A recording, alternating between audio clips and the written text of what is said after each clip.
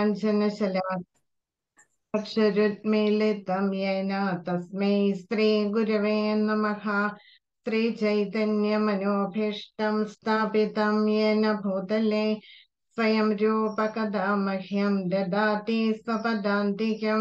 വന്ദേഹം ശ്രീഗുരോ ശ്രീയുതപദകമലം ഗുരുൻ വൈഷ്ണവാംശ്ച. श्रीरूपं साग्रजातं सहगणरघुनाथान्वितं तं सजीवं साद्वैतं सावधूतं परिजनसहितं कृष्णचैतन्यदेवं श्रीराधाकृष्णपादान् सहगणललिता श्रीविशाखान्वितांश्च पञ्चतत्त्वात्मकं कृष्णं भक्तरूपस्वरूपकं भक्तावतारं भक्ताख्यं नमामि भक्तशक्तिकं नमो विष्णुपादाय कृष्णप्रेष्ठाय भूतले श्रीमते जयपताका स्वामिन् इति नामिने। नमो आचार्यपादाय निताय कृपाप्रदायिने। गौरकथाधामदाय नगरग्रामतारिणे। नमो विष्णुपादाय कृष्णपृष्ठाय भूतले श्रीमते इति नामिने। नमस्ते सरस्वते देवे गौरवाणी प्रचारिणे निर्विशेषशून्यवादी पाश्चात्यदेशतारिणे जय श्रीकृष्ण चैतन्य प्रभु नित्यानन्द श्री अद्वैत गदाधर, श्रीवासादि गौरभक्तवृन्द। हे कृष्ण, करुणा, सिन्धो, दीनबन्धो, जगत्पते। गोपेश, गोपिका कान्द राधा कान्द नमोऽस्तु ते तप्त काञ्चन गौराङ्गी, राधे, वृन्दावनेश्वरी। वृषभानुसुते, देवी प्रणमा हरिप्रिये। मूकं करोति वाचालं, भङ्गुं लङ्घयते गिरिमिकृपातमहं वंदे। श्रीगुरुं പരമാനന്ദമാധവം ശ്രീചൈതന്യമീശ്വരം. കൃഷ്ണായ വാസുദേവായ ദേവകീ നന്ദനായ ച നന്ദഗോപകുമാരായ ഗോവിന്ദായ നമോ നമ. നീലാചലനിവാസായ നിത്യായ പരമാത്മനെ ശ്രീവല്ലഭദ്ര സുഭദ്രാഭ്യാം ജഗന്നാഥായ ദേ നമ. ഹരേ കൃഷ്ണ ഹരേ കൃഷ്ണ കൃഷ്ണ കൃഷ്ണ ഹരേ ഹരേ. ഹരേ രാമ ഹരേ രാമ രാമ രാമ ഹരേ ഹരേ.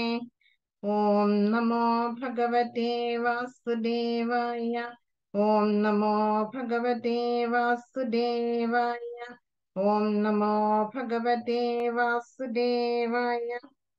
ഹരേ കൃഷ്ണ. നമ്മളെ മൂന്നാമത്തെ അധ്യായത്തിന്റെ സമ്മറി പറഞ്ഞുകൊണ്ടിരിക്കുകയാണ് അല്ലേ? കഴിഞ്ഞ ക്ലാസ്സിൽ നമ്മൾ എന്താ പറഞ്ഞത്? ഓർമ്മയുണ്ടോ ആർക്കെങ്കിലും? ഉം? നമ്മൾ കർമ്മത്തെ കുറിച്ച് പറഞ്ഞു ഇല്ലേ? നമ്മൾ കർമ്മം എങ്ങനെ ചെയ്യണമെന്നാണ് പറഞ്ഞത്? ഭഗവാന്റെ സന്തുഷ്ടിക്കായിട്ട് നമ്മൾ കർമ്മം ചെയ്യണം. അപ്പോഴത് എന്താവില്ല? കർമ്മബന്ധനമായിട്ട് മാറില്ല എന്ന് നമ്മൾ മനസ്സിലാക്കി ഇല്ലേ? അപ്പം ശരിയായിട്ടുള്ള പരിത്യാഗം അല്ലെങ്കിൽ റിനൻസിയേഷൻ എന്ന് പറഞ്ഞാൽ എന്താണ്? നമ്മൾ ഈ കർമ്മം ചെയ്യാതെ ഒളിച്ചോടുകയല്ല. പിന്നെയോ? ഭഗവാനെ മുൻനിർത്തി നമ്മൾ കർമ്മം ചെയ്യണം. അപ്പം കർമ്മഫലത്തിലുള്ള ആസക്തി നമുക്ക് വിടാൻ ഉപേക്ഷിക്കാൻ നമുക്ക് സാധിക്കും.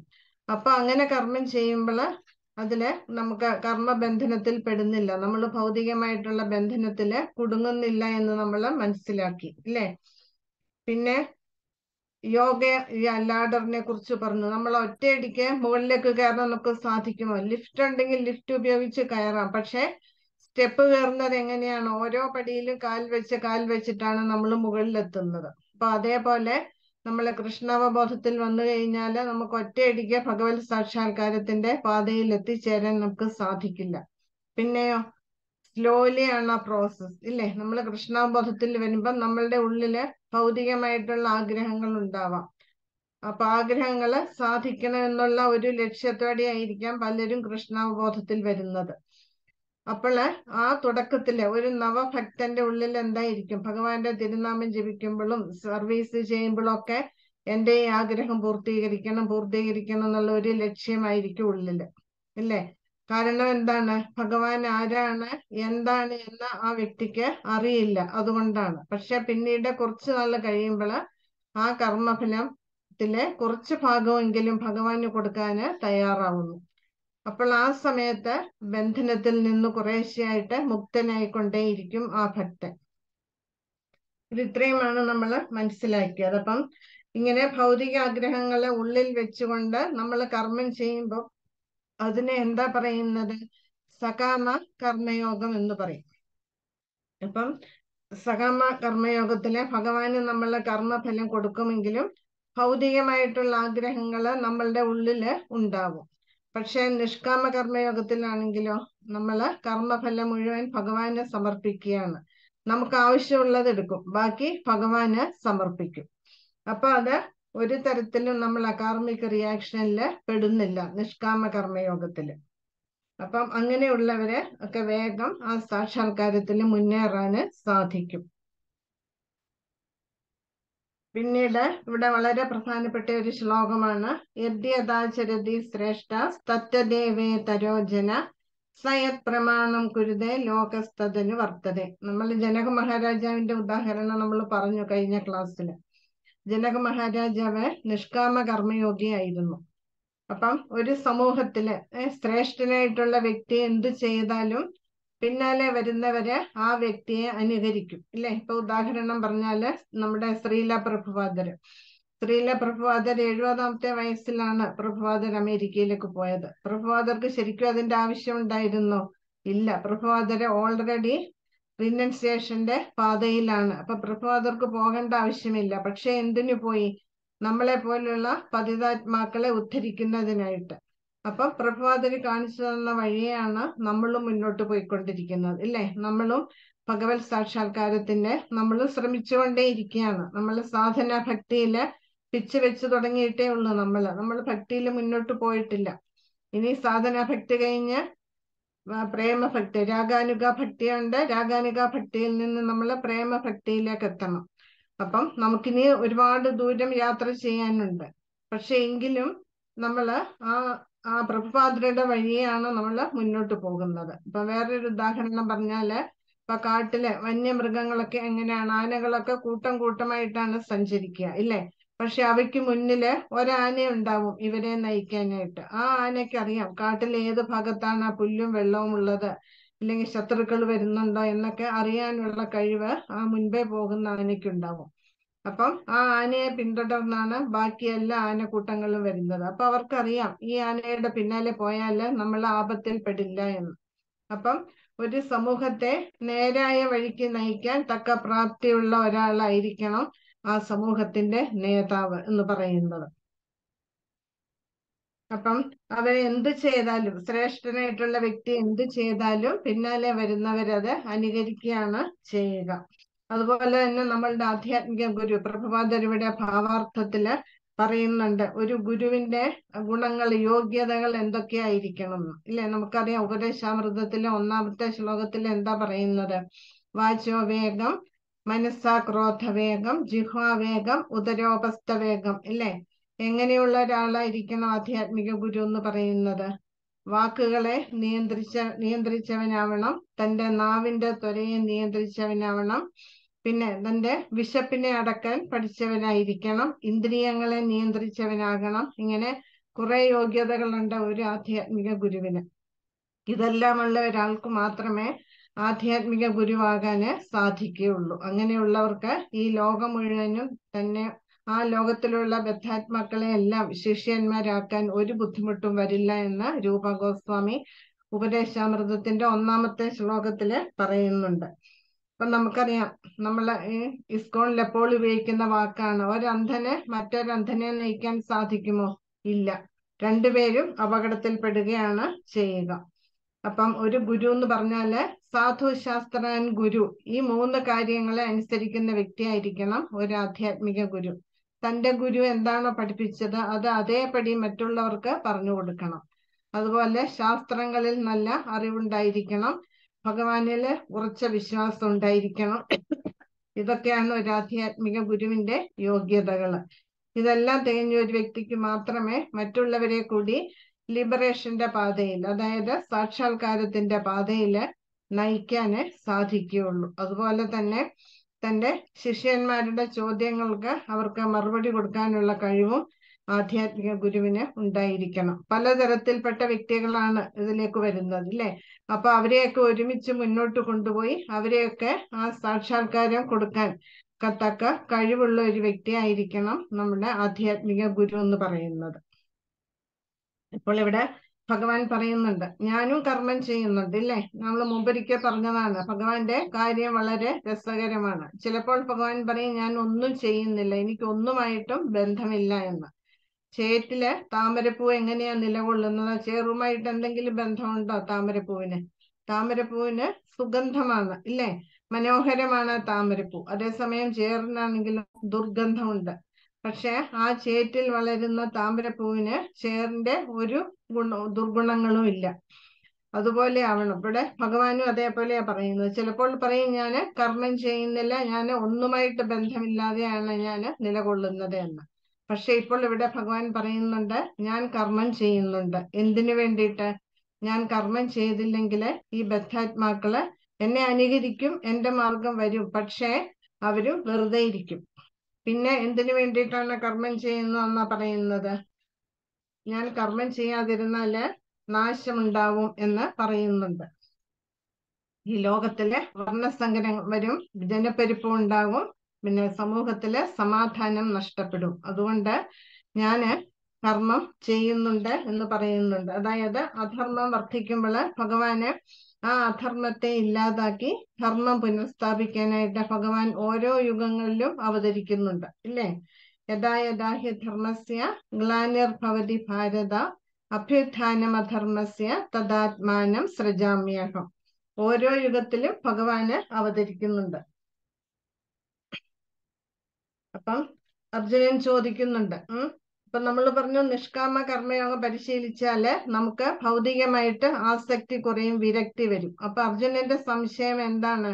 അപ്പൊ അങ്ങനെയുള്ളവരെ കർമ്മം ചെയ്യേണ്ട ആവശ്യമുണ്ടോ? വെറുതെ ഇരുന്നാൽ പോരെ എന്നാണ് ചോദിക്കുന്നത്. അപ്പം ഭഗവാൻ പറയുന്നുണ്ട് അവരെ ആ അവസ്ഥ അവരുടെ ആ ജീവിത അവസാനം വരെയും അവരെ ആത്യന്തിക ലക്ഷ്യത്തിലേക്ക് എത്തിച്ചേരാനും മറ്റുള്ളവരെ ആ പാതയിലേക്ക് നയിക്കാനും വേണ്ടിയിട്ട് അവർ പരിശ്രമിച്ചു കൊണ്ടേയിരിക്കും എന്ന് പറയുന്നുണ്ട്. നമുക്കറിയാം നമ്മളുടെ ഗുരു മഹാരാജ് ശ്രീല ജയപതാക സ്വാമി ഗുരു മഹാരാജ് ഇത്രയും വയ്യ ഇത്രയും വയ്യാതിരുന്നിട്ടും ഇപ്പോഴും ഹോസ്പിറ്റലിലെ ട്രീറ്റ്മെന്റിലാണ് പക്ഷെ എന്നിട്ടും മഹാരാജ് ഒരു നിമിഷം പോലും വെറുതെ ഇരിക്കുന്നില്ല. കിടക്കയിൽ കിടന്നുകൊണ്ട് പോലും ഇമെയിലിന് മറുപടി കൊടുക്കുകയും പിന്നെ വേണ്ടുന്ന നിർദ്ദേശങ്ങൾ നമ്മൾ സംശയം ചോദിച്ചാൽ ആ സംശയങ്ങൾക്ക് മറുപടി തരികയും ഒക്കെ ചെയ്യുന്നുണ്ട് ഗുരു മഹാരാജ് അവരൊക്കെ റിനൻസിയേഷന്റെ പാതയിലാണ്. ഭഗവത് സാക്ഷാത്കാരത്തിന്റെ പാതയിലാണ്. അവർ ആ തലത്തിൽ എത്തിയവരാണ് എന്നിട്ടും കൂടി വെറുതെ ഇരിക്കുന്നില്ല. അതുപോലെ ശ്രീല പ്രഭുപാദര് മരണസമയത്ത് പോലും ഭാഗവതം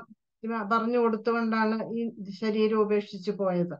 അപ്പൊ ഇതിനൊക്കെയുള്ള മാതൃകകൾ നമ്മുടെ മുൻപിലുണ്ട്. അപ്പം നമ്മളും അതുപോലെ ആവണം. സാക്ഷാത്കാര പാതയിൽ എത്തിയാലും നമ്മൾ മറ്റുള്ളവരെ കൂടി ഇതിലേക്ക് നയിക്കാൻ നമ്മൾ പരിശ്രമിച്ചുകൊണ്ടേയിരിക്കണം. അതാണ് വെച്ചാൽ പരിത്യാഗം എന്ന് വെച്ചാൽ എല്ലാം വിട്ട് ഒളിച്ചോടി എവിടെയെങ്കിലും പോകുക എന്നല്ല. പിന്നെയോ നമ്മളുടെ ധർമ്മം അനുഷ്ഠിക്കണം എന്നാണ്. മറ്റുള്ളവരുടെ ധർമ്മം ചെയ്യാതെ മറ്റുള്ളവരുടെ കർത്തവ്യങ്ങൾ ചെയ്യാതെ നമ്മൾ നമ്മളുടെ കർത്തവ്യം ചെയ്യുക. തെറ്റായിക്കോട്ടെ ശരിയായ രീതിയിലല്ല ചെയ്യുന്നതെങ്കിലും അത് ചെയ്യാന് നമ്മൾ പരിശീലിക്കണം എന്ന് പറയുന്നുണ്ട്. അപ്പൊ അതാണ് അകർമ്മം എന്ന് പറയുന്നത്. അകർമ്മം എന്ന് പറഞ്ഞാൽ എന്താണ്? ഭക്തി. നമ്മളെ കർമ്മബന്ധനത്തിൽ കൊടുക്കാതെ ചെയ്യുന്ന കർമ്മങ്ങളാണ് അകർമ്മം എന്ന് പറയുന്നത്. നമ്മൾ ഇപ്പൊ ഉദാഹരണം പറഞ്ഞാൽ ഒരു പട്ടാളക്കാർ യുദ്ധം ചെയ്യുമ്പോൾ അനേകം ആൾക്കാരെ കൊല്ലാറുണ്ട്. ഇല്ല? എന്തിനു വേണ്ടിയിട്ടാണ്? രാജ്യത്തിന്റെ സുരക്ഷയ്ക്ക് വേണ്ടിയിട്ട്. ആ പട്ടാളക്കാരന് അതിനുള്ള അനുവാദം കൊടുത്തിട്ടുണ്ട്. പക്ഷെ അതേ പട്ടാളക്കാരന് അവധിക്ക് നാട്ടിൽ വന്നു. നാട്ടിൽ വന്നിട്ട് ഒരു വ്യക്തിയെ കൊല്ലുക എന്ന് വിചാരിച്ചാൽ അത് ശരിയാണോ അത്? അത് നീതിയാണോ? അല്ല. അപ്പൊ അയാൾക്ക് അതിനുള്ള ശിക്ഷ അനുഭവിച്ചേ പറ്റുള്ളൂ. അപ്പൊ അതുപോലെയാണ് നമ്മൾ നമ്മളുടെ കടമകൾ നമ്മൾ നമ്മൾ ചെയ്യണം. എങ്ങനെ ചെയ്യണം? ഗുരുവിന്റെ നിർദ്ദേശം അനുസരിച്ചിട്ട് നമ്മൾ നമ്മളുടെ കർത്തവ്യങ്ങൾ നമ്മൾ ചെയ്യണം. അപ്പോൾ നമുക്കൊരു സംശയം തോന്നാം. അപ്പൊ എങ്ങനെ നമുക്ക് പരിപൂർണമായിട്ട് വിരക്തി കൈവരിക്കാൻ സാധിക്കും? കഴിഞ്ഞ ക്ലാസ്സിലെ ഗംഗാ മാതാജിയാണെന്ന് തോന്നുന്നത് ചോദിച്ചിരുന്നു വിരക്തി കൈവരിക്കുന്നത് എങ്ങനെയാണ്? നമുക്ക് തീർച്ചയായിട്ടും സാധിക്കും. നമ്മൾ നമ്മളുടെ സാധനയിൽ ഉറച്ചു നിന്ന് മുന്നോട്ട് പോവുകയാണെങ്കിൽ നമ്മൾ ആ സേവനം ചെയ്യും തോറും ഭക്തിയുടെ സേവനം ചെയ്യും തോറും നമുക്ക് ഈ ഭൗതികമായിട്ട് ഒന്നൊന്നായിട്ട് ഒറ്റയടിക്ക് കിട്ടില്ല.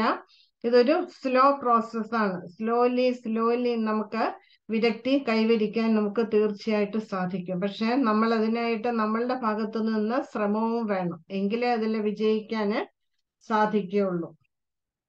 ഇപ്പം ഒരു ഭക്തനും ഒരു അഭക്തനും തമ്മിലുള്ള വ്യത്യാസത്തെ കുറിച്ച് പറയുന്നുണ്ട്. അപ്പൊ ഒരു ഭക്തനാണെങ്കിലോ ഭഗവാനെ മുൻനിർത്തിയാണ് എല്ലാ പ്രവൃത്തികളും ചെയ്യുന്നത്. അപ്പൊ അതിന്റെ ഫലങ്ങൾ എങ്ങനെയാണ് കൃഷ്ണാവബോധത്തിന് ഉപയോഗിക്കേണ്ടത് എന്ന് ആ ഭക്തന് അറിയാൻ സാധിക്കും. പക്ഷെ അഭക്തനാണെങ്കിലോ മുൻപേ പറഞ്ഞതുപോലെ ഭൗതികമായിട്ടുള്ള ആഗ്രഹങ്ങളെ ഉള്ളിൽ വെച്ചുകൊണ്ടാവും ഭഗവാന് വേണ്ടി പ്രവർത്തിക്കുന്നത്. അങ്ങനെ വരുമ്പോൾ അവിടെ പിന്നെയും കുടുങ്ങിക്കിടക്കുകയാണ്. അത് നമ്മളെ വീണ്ടും വീണ്ടും വീണ്ടും ബന്ധനത്തിൽ പെടുത്തുകയാണ് ചെയ്യുന്നത്. അപ്പം എല്ലാ വേദങ്ങളുടെയും വേദേശ്ച സർവൈരഹമേവ വേദ്യ വേദാന്തകൃത് വേദ വിദേഹചാഹം. അതായത് എല്ലാ വേദങ്ങളിലും പറയുന്നത് ആരെ കുറിച്ചിട്ടാണ്? പരോക്ഷമായിട്ടാണ് വേദങ്ങളിലെ ഭഗവാനെ കുറിച്ച് പറയുന്നത്. എങ്കിലും ഭഗവാനെ കുറിച്ചിട്ടാണ് എല്ലാ വേദങ്ങളിലും പറയുന്നത്. അതുപോലെ തന്നെ വേദങ്ങളിലെ കർമ്മകാണ്ഡങ്ങളിലെ പറയുന്ന കർമ്മങ്ങളൊക്കെ എന്തിനു വേണ്ടിയിട്ടാണ്? ഭൗതികമായിട്ടുള്ള ആഗ്രഹ പൂർത്തീകരണത്തിന് വേണ്ടിയിട്ടാണ്. പക്ഷെ ആ കർമ്മങ്ങളൊക്കെ എവിടെ എത്തിച്ചേരും? അത് കൃഷ്ണാവബോധത്തിലേക്ക് നയിക്കും അവസാനം. കാരണം നമ്മൾ കുറച്ച് കഴിയുമ്പോൾ നമ്മൾ ഈ ഓരോന്നും ആഗ്രഹ പൂർത്തീകരണത്തിന് വേണ്ടി നമ്മൾ കുറെ അതും ഇതും ഒക്കെ ചെയ്യും. കുറച്ച് കഴിയുമ്പോൾ നമുക്ക് ഇതെല്ലാം മടുക്കും. നമ്മൾ എങ്ങോട്ടേക്ക് വരും? ഭഗവാനിലേക്ക് വരും നമ്മൾ തനിയെ. അപ്പം ബദ്ധാത്മാക്കൾക്ക് അവരുടെ ആവശ്യം എന്ന് വെച്ചാൽ ഇന്ദ്രിയ ആസ്വാദനം. അതിനു വേണ്ടിയാണ് അവർ ആഗ്രഹിക്കുന്നത്. പക്ഷെ ഇതെല്ലാം എന്താണ്? കാമ്യ കർമ്മങ്ങളാണ് ഈ കാമ്യ കർമ്മങ്ങളും ഇന്ദ്രിയ പൂർത്തീകരണത്തിനുള്ള പ്രവൃത്തികളും ഒക്കെ ക്രമേണ ക്രമേണ ഒരാളെ കൃഷ്ണാവബോധത്തിലേക്ക് ഉയർത്തുന്നതാണ്. അപ്പം മറ്റുള്ളവർ ഇതേ പ്രവൃത്തിയിൽ ഏർപ്പെട്ടിരുന്നു കഴിഞ്ഞാൽ നമ്മൾ അവരെ ശാസിക്കുകയോ അതിൽ നിന്ന് പിന്മാറാൻ നിർബന്ധിക്കുകയോ ചെയ്യേണ്ട ആവശ്യമില്ല എന്ന് പ്രഭുപാദര് പറയുന്നുണ്ട്. പക്ഷെ നമ്മൾ പറഞ്ഞു കൊടുക്കണം. കൃഷ്ണാവബോധത്തിന്റെ മേന്മകൾ പറഞ്ഞു കൊടുക്കുക. പക്ഷെ അവരെ ഒരിക്കലും നിർബന്ധിച്ച് ഈ പാതയിൽ കൊണ്ടുവരരുത് എന്ന് പറയുന്നുണ്ട്. അവർ അവർക്ക് സമയമായിട്ടുണ്ടെങ്കിൽ അവർ തനിയെ വരും. ഇല്ലെങ്കിലോ അവർക്ക് സമയമായിട്ടില്ല എന്നാണ് പറയുന്നത്. അങ്ങനെയുള്ളവരെ മൂഢന്മാരാണെന്നാണ് പറയുന്നത്. അവജാനന്തി മാ മൂഢ മാനുഷീം തനുമാശ്രിതം. ഭഗവാന് ഈ ഭൗതിക ലോകത്തിൽ ഭഗവാൻ തന്നെയാണ് വന്നത്.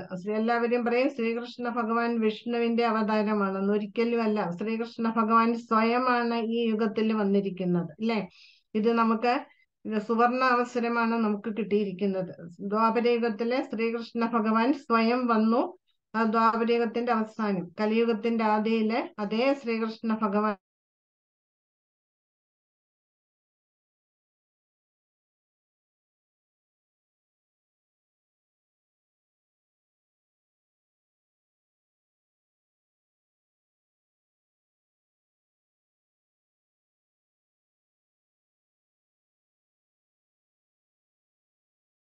ഭഗവാനും മഹാപ്രഭുവും ഇനി വരണം എന്നുണ്ടെങ്കിൽ ഇനിയും നമ്മൾ അനേകം ജന്മങ്ങൾ അനേക അനേകായിരം ജന്മങ്ങൾ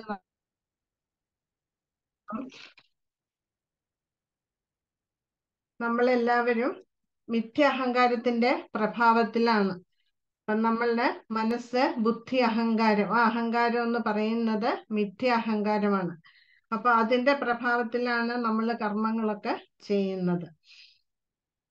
അപ്പൊ ഇതാണ് ഭക്തനും അഭക്തനും തമ്മിലുള്ള വ്യത്യാസം. കാരണം നമ്മളെയൊക്കെ നിയന്ത്രിക്കുന്നത് ആരാണ്?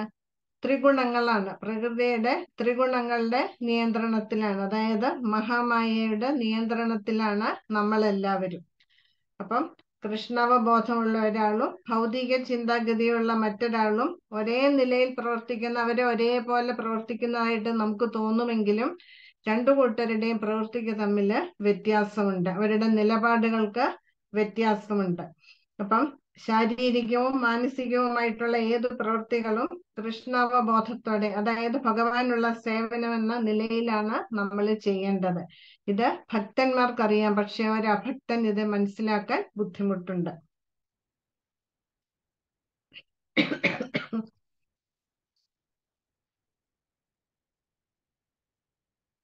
അപ്പൊ നമ്മളിവിടെ അർജുനൻ ചോദിക്കുന്നുണ്ട്. അപ്പൊ നമ്മളെ ഇഷ്ടമില്ലാത്ത നമുക്ക് പാപം ചെയ്യാൻ ആരും ഇഷ്ടപ്പെടില്ല ഇല്ലേ?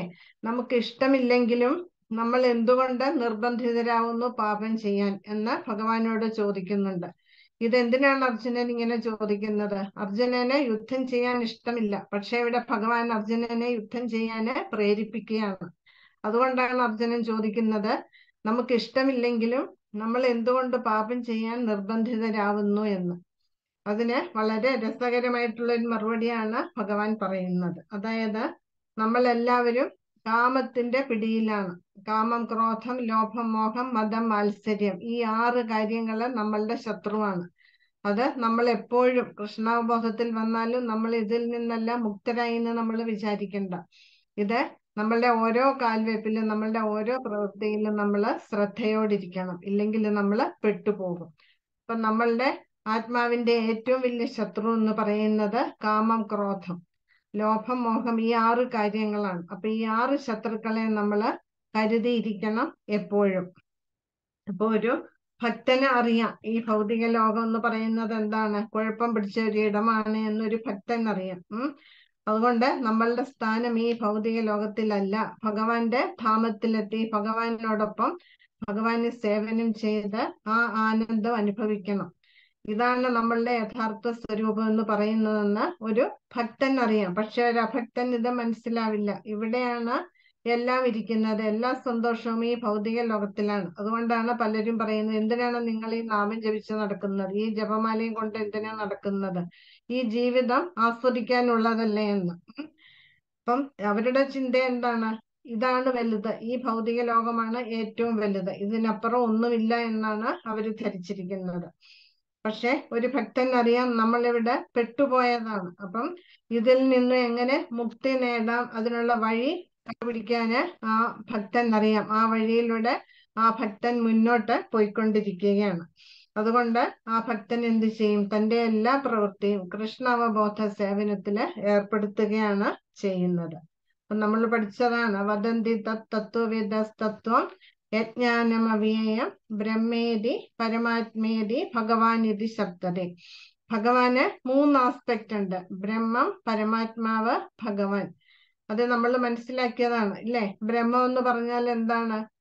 ഭഗവാന്റെ ശരീരത്തിലെ തേജസ് ആത്മീയ ആകാശത്ത് ആ തേജസ് വ്യാപിച്ചിട്ടുണ്ട്. അതാണ് ബ്രഹ്മം എന്ന് പറയുന്നത്. ആ ബ്രഹ്മത്തെയാണ് മായാവാദികൾ ഈശ്വരനായിട്ട് കരുതുന്നത്. ഭഗവാൻ അപ്പുറത്തുണ്ട്.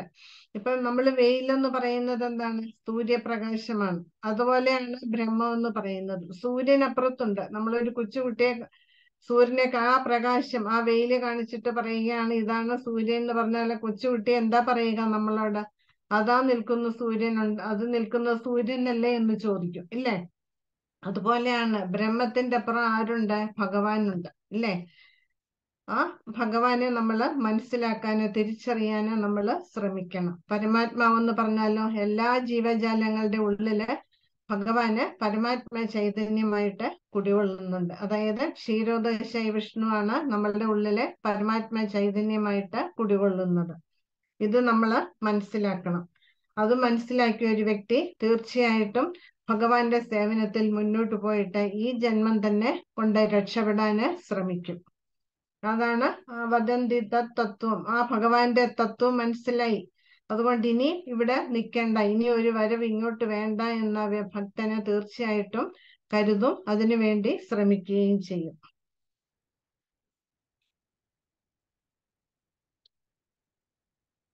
അപ്പം ഈ ത്രിഗുണങ്ങളിൽ പെട്ടാണ് നമ്മൾ കർമ്മം ചെയ്യുന്നത്. ജ്ഞാനികൾ ഭൗതിക കർമ്മങ്ങളിൽ വ്യാപൃതരാകുന്നത്. അതിൽ ആസക്തരാവുകയും ചെയ്യുന്നത്. അത് എന്തുകൊണ്ടാണ്? അവരുടെ അജ്ഞത കൊണ്ടാണ്. അവർക്ക് അറിവില്ല. അതുകൊണ്ടാണ്. അപ്പൊ അങ്ങനെയുള്ളവരെ ബുദ്ധിയുള്ളവരെ അവരെ വിമർശിക്കരുത് എന്നാണ് ഇവിടെ പ്രഭുപാദരെ പറയുന്നത്. കാരണം നമുക്ക് ഈ ശരീരം തന്നത് എന്തിനാണ്? നമുക്ക് ആ ശരീരം ഉപയോഗിച്ചിട്ട് ഈ ഭൗതിക ലോകത്തു നിന്നും രക്ഷപ്പെടാൻ വേണ്ടിയിട്ടാണ്. ഈ ഭൗതിക ലോകം ത്തിൽ നിന്ന് ആ ഭവസാഗരത്തിൽ നിന്ന് രക്ഷപ്പെടാനുള്ള ഒരു തോണി അല്ല ആണ് എന്ത്?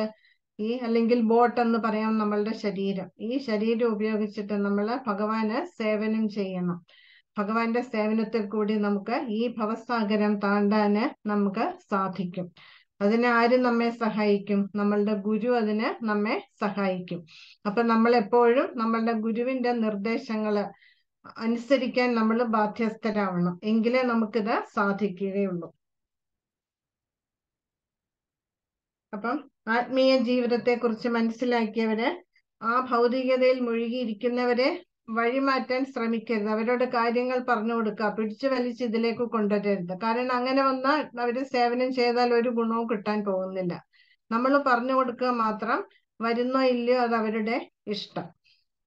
ഇപ്പൊ നമ്മളെ ഗുരുവാണ്. ഗുരു ഒരിക്കലും വെറുതെ ഇരിക്കില്ല ഇല്ലേ? ഗുരു ഓടി നടന്ന് എത്ര പതിതാത്മാക്കളായാലും അവരെ പിടിച്ചു വലിച്ചു കൊണ്ടുവരും. അതിനുള്ള കഴിവ് ഗുരുവിനുണ്ട്. നമുക്കാർക്കും അതിനുള്ള കഴിവില്ല. നമ്മൾ പറഞ്ഞു കൊടുക്കുക. അവർ സമയം ഇഷ്ടമുണ്ടെങ്കിൽ അവർ വരും.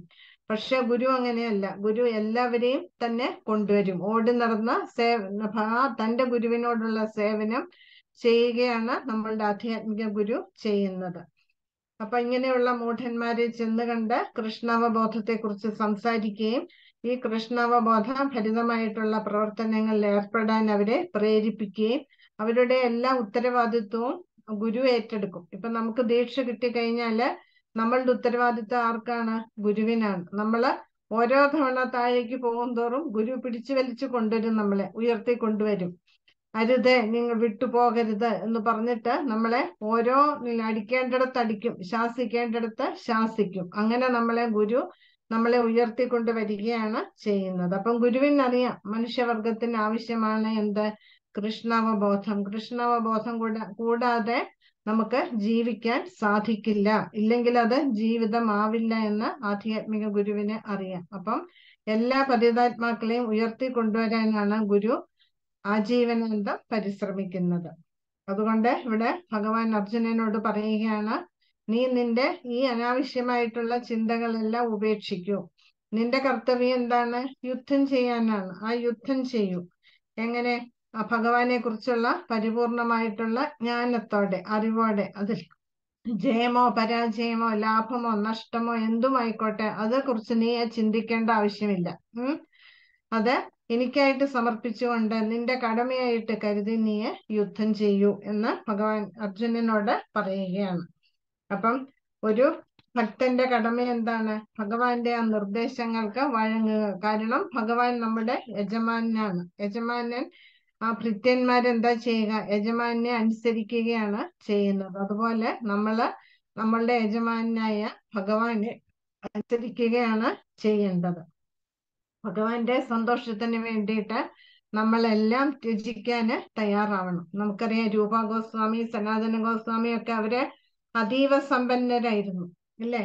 അവർ ഒക്കെ മുസ്ലിം ഭരണാധികാരികളുടെ കീഴിലെ ഉയർന്ന പദവി വഹിച്ചിരുന്നവരാണ്. അതെല്ലാം പുല്ലുപോലെ വലിച്ചെറിഞ്ഞിട്ടാണ് ഭഗവാന്റെ സേവനത്തിൽ ഏർപ്പെട്ടത്. അവരുടെ കയ്യിലുള്ള സമ്പാദ്യം രൂപഗോസ്വാമി പറഞ്ഞിട്ടുണ്ട്. രൂപഗോസ്വാമിയുടെ ഗ്രന്ഥങ്ങളിൽ പറഞ്ഞിട്ടുണ്ട്. നമ്മളുടെ കയ്യിലുള്ള ആ സമ്പത്തിന്റെ ഇരുപത്തഞ്ച് ശതമാനം മാത്രമേ നമ്മൾ നമ്മളുടെ ആവശ്യത്തിനായിട്ട് എടുക്കാവുള്ളൂ എന്ന്. ബാക്കി അൻപത് ശതമാനം ഭഗവാന് വേണ്ടി കൊടുക്കുക ഇരുപത്തഞ്ച് ശതമാനം നമ്മളുടെ കുടുംബത്തിന് വേണ്ടി മാറ്റിവെക്കുക ഇവർ പറയുക മാത്രമല്ല രൂപ ഗോസ്വാമി അത് പ്രാവർത്തികമാക്കുകയും ചെയ്തു. അപ്പൊ ഇങ്ങനെയുള്ള ആചാര്യന്മാരാണ് നമ്മളുടെ പരമ്പരയിലുള്ളത്. അപ്പൊ നമ്മൾ അവരുടെ നിർദ്ദേശങ്ങൾ അനുസരിക്കാൻ നമ്മൾ തയ്യാറാവണം. ഭഗവാന്റെ സന്തോഷത്തിന് വേണ്ടിയിട്ട് നമ്മളെല്ലാം ത്യജിക്കാന് തയ്യാറാവണം. അതേസമയം ഇതെല്ലാം ഭഗവാന്റേതാണ്. ഇതിന്റെ ഒന്നും ഉടമസ്ഥൻ നമ്മളല്ല. ഭഗവാനാണ് അതിന്റെ നിയന്താവ് കൺട്രോളർ അതുപോലെ തന്നെ എൻജോയർ ഇതെല്ലാം ഭഗവാനാണ്. നമ്മളല്ല ആസ്വദിക്കേണ്ടത് അല്ലേ? ഇപ്പൊ നമ്മളുടെ വിചാരം എന്താണ്? ഇതൊക്കെ നമ്മളുടേതാണ്. ഇത് എനിക്ക് വേണം എല്ലാം എനിക്ക് എന്നുള്ള ആഗ്രഹത്തിലാണ് നമ്മൾ ജീവിക്കുന്നത്. പക്ഷെ ഇതൊന്നും നമ്മളുടേതല്ല. ഇതിനൊക്കെ ഉടമസ്ഥൻ ഭഗവാനാണ്. അപ്പം ഇതിനെ ആസ്വദിക്കേണ്ടത് എൻജോയ് ചെയ്യേണ്ടതും ആരാണ്? ഭഗവാനാണ് എന്ന് നമ്മൾ മനസ്സിലാക്കണം. അപ്പം ഒരു ഭൃത്യൻ തന്റെ യജമാനെ എങ്ങനെയാണോ സേവിക്കുന്നത് അതേപോലെ നമ്മൾ ഭഗവാനെ സേവിക്കണം. ഉദാഹരണം പറഞ്ഞാൽ ബാങ്കിൽ ക്യാഷ്യർ ക്യാഷ്യറുടെ കയ്യിൽ ദിവസവും ലക്ഷക്കണക്കിന് രൂപ വന്നു പോകും ഇല്ലേ? പക്ഷെ അദ്ദേഹം ഒരിക്കലും വിചാരിക്കുമോ ഇത് എന്റെ പൈസയാണെന്ന്? ഇല്ല. അത് മറ്റൊരാളുടെ പൈസയാണ് ഇത് ഗവൺമെന്റിന്റെ പൈസയാണ് എന്നുള്ള രീതിയിലാണ് ആ പൈസ കൈകാര്യം ചെയ്യുന്നത്. അപ്പം അതുമായിട്ടൊരു അറ്റാച്ച്മെന്റ് വരുമോ ക്യാഷിയർക്ക് ഇല്ല. ഇത് മറ്റൊരാളുടെ പൈസയാണ് എന്ന വ്യക്തിക്ക് നന്നായിട്ടറിയാം. അതുകൊണ്ടാണ് അങ്ങനെയാണ് മനോഭാവത്തോടെയാണ് അത് കൈകാര്യം ചെയ്യുന്നത്. അപ്പം നമ്മളും അതേപോലെ വേണം. ഇതൊന്നും നമ്മളുടേതല്ല. ഇതെല്ലാം ഭഗവാന്റേതാണ് എന്നുള്ള ചിന്തയോടെ നമ്മൾ നമ്മളുടെ വീടും കുടുംബവും നമ്മളുടെ ആസ്തിയും ഇതെല്ലാം ആ രീതിയിൽ വേണം നമ്മൾ കൈകാര്യം ചെയ്യാൻ അപ്പൊ അങ്ങനെ വരുമ്പോൾ അത് നിഷ്കാമ കർമ്മയോഗമാകും. നമുക്ക് ആ കർമ്മഫലത്തെ കുറിച്ചുള്ള ചിന്ത അല്പം പോലും നമ്മളുടെ ഉള്ളിൽ ഉണ്ടാവില്ല. പിന്നെ ഭഗവാൻ പറയുന്നുണ്ട് ഭഗവാനോട് അസൂയുള്ളവരാണ് ഭഗവാന്റെ വഴിയെ വരാത്തത് എന്ന്. അപ്പൊ അങ്ങനെയുള്ളവരെ ഭഗവാന്റെ ഉപദേശങ്ങൾ അനുസരിക്കാതെ ഭഗവാൻ ചൂണ്ടിക്കാണിക്കുന്ന വഴി അതായത് ഭാഗവത ധർമ്മം പിന്തുടരുന്നില്ല എങ്കിൽ അവർ വീണ്ടും ഈ ഭൗതിക ലോകത്തിൽ കുടുങ്ങി കിടക്കും എന്ന് ഭഗവാൻ പ്രത്യേകിച്ച് പറയുന്നുണ്ട്. അപ്പം നമ്മളിവിടെ ആറ് കാര്യങ്ങൾ ഞാൻ ഒന്നും കൂടി ഇത്രയും പറഞ്ഞ കാര്യങ്ങൾ ഒന്നും കൂടി ആവർത്തിക്കുകയാണ്. നമ്മൾ ആറ് കാര്യങ്ങളെ മനസ്സിലാക്കി. അതായത് ഒരു നവഭക്തൻ കൃഷ്ണാവബോധത്തിലേക്ക് വന്നു കഴിഞ്ഞാൽ ആ വ്യക്തിയുടെ ഉള്ളിൽ ഭൗതികമായിട്ടുള്ള ആഗ്രഹങ്ങൾ ഉണ്ടാവും. കാരണം എന്താണ്? ഭഗവാനെ കുറിച്ച് ആ വ്യക്തിക്ക് അറിയില്ല. അതുപോലെ കുറച്ച് കഴിഞ്ഞാലോ ഭഗവാനെ കുറിച്ച് മനസ്സിലാക്കി തുടങ്ങിയാൽ ആ വ്യക്തി നിഷ്കാമ കർമ്മയോഗത്തിന്റെ പാതയിലേക്ക് വരാന് തയ്യാറാവും. പക്ഷെ അപ്പോഴും ഉള്ളിൽ എന്തുണ്ടാവും ഭൗതികമായിട്ടുള്ള ആഗ്രഹങ്ങൾ ബാക്കിയുണ്ടാവും. അതിനെ എന്താ പറയുക? സകാമ കർമ്മയോഗം എന്ന് പറയും. കാരണം ആഗ്രഹങ്ങൾ ഉള്ളിൽ വെച്ചുകൊണ്ടാവും ആ വ്യക്തി ഭഗവാന് സേവനം അനുഷ്ഠിക്കുന്നത് ഇപ്പൊ നമ്മൾ പിന്നീട് കർമ്മകാന്ഡത്തെ കുറിച്ച് മനസ്സിലാക്കി ഇല്ലേ? നമ്മൾ പറഞ്ഞു മഴ ധാന്യങ്ങളൊക്കെ പറഞ്ഞു. ധാന്യങ്ങൾക്ക് ക്ഷാമം ഉണ്ടാകുന്ന എപ്പോഴാണ്? മഴ കുറയുമ്പോൾ ഇല്ലേ? അപ്പൊ നമ്മൾ എന്ത് ചെയ്യും? മഴ കിട്ടാൻ വേണ്ടിയിട്ട് യാഗങ്ങളെ ഞങ്ങളൊക്കെ അനുഷ്ഠിക്കും. ഈ യാഗം യജ്ഞങ്ങൾ എന്നൊക്കെ പറയുന്നത് എന്താണ്? അത് വേദങ്ങളിലെ കർമ്മകാണ്ഡത്തിലെ കർമ്മികൾക്ക് വേണ്ടി പറഞ്ഞിരിക്കുന്നതാണ് ഇതെല്ലാം. പക്ഷെ അത് ചെയ്യുമ്പോൾ മഴ കിട്ടും അപ്പൊ നമുക്ക് കൃഷി ചെയ്യാൻ സാധിക്കും. പക്ഷെ അതിന് നമ്മൾ എന്ത് ചെയ്യണം? ഈ യജ്ഞവും യാഗവും ഒക്കെ ചെയ്തിട്ട് ദേവന്മാരെ പ്രീതിപ്പെടുത്തണം ഇല്ലേ? പക്ഷെ ഈ ദേവന്മാരാരാണ് ഭഗവാന്റെ സേവകരാണ്. അവർ ഭഗവാന്റെ ശരീരത്തിലെ അവയവങ്ങളാണ് അംഗങ്ങളാണ്. അപ്പം അവരെ തൃപ്തിപ്പെടുത്തുന്നത് കൊണ്ട് ഭഗവാനും സംതൃപ്തിയാകും. പക്ഷേ നമ്മൾ ഇങ്ങനെ മൂക്കെ തൊടുന്നതിന് പകരം ഇങ്ങനെ തൊട്ടാൽ എങ്ങനെ ഇരിക്കും? അതുപോലെ ആകും അപ്പം ഭഗവാൻ അവരെ സംതൃപ്തിപ്പെടുത്തിയാൽ ഭഗവാൻ സന്തോഷിക്കുമെങ്കിൽ ഭഗവാനെ നേരിട്ട് സംതൃപ്തിപ്പെടുത്തുന്നതല്ലേ ഏറ്റവും നല്ലത് ഇല്ലേ? അപ്പൊ നമ്മൾ ഭഗവാന് സേവനം ചെയ്യുന്നത് കൊണ്ട് ഈ ദേവി ദേവന്മാരെല്ലാം മുപ്പത്തി മുക്കോടി ദേവി ദേവന്മാർക്ക് ഒരു പിണക്കവും വരില്ല. നമുക്ക് പ്രകൃതിയിൽ ഒരു ദുരന്തങ്ങളും പ്രകൃതിക്ഷോഭമോ ഒന്നും ഉണ്ടാവില്ല. പ്രകൃതി അതിന്റെ വഴിയെ പൊക്കോളും. നമ്മൾ ഭഗവാന്റെ വഴിയെ പോവുകയാണെങ്കിൽ എല്ലാം വളരെ സ്മൂത്തായിട്ട് നടന്നുകൊണ്ടേയിരിക്കും.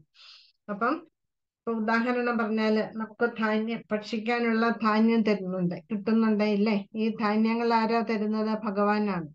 അപ്പൊ നമ്മളത് ഭഗവാനെ നിവേദിച്ചിട്ട് നമ്മൾ ഭക്ഷിക്കുകയാണെങ്കിലോ ആ ഭഗവാന്റെ ഒരു വസ്തു എടുത്ത് ഉപയോഗിക്കുന്നത് കൊണ്ടുള്ള പാപം ഇല്ലാതാകും. നമ്മളുടെ ആ കർമ്മഫലം ഇല്ലാതാകും. അതുകൊണ്ടാണ് നമ്മൾ ഹരേ കൃഷ്ണ പ്രസ്ഥാനത്തിൽ എന്തുണ്ടാക്കിയാലും നമ്മൾ ഭഗവാൻ ഓഫർ ചെയ്തിട്ടേ നമ്മൾ ഭക്ഷിക്കുകയുള്ളൂ. പ്രസാദമാക്കിയിട്ടേ നമ്മൾ ഭക്ഷിക്കുകയുള്ളൂ. കാരണം എന്താണ്?